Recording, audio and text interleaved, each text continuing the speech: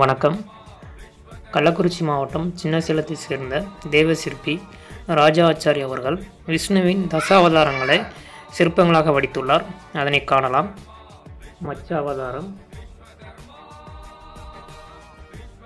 கூர்ம அவதாரம் வராக அவதாரம் நரசிம்ம அவதாரம் வாமன அவதாரம் பரசுராம அவதாரம் ஸ்ரீராம அவதாரம் பலராம அவதாரம் ஸ்ரீ கிருஷ்ண அவதாரம்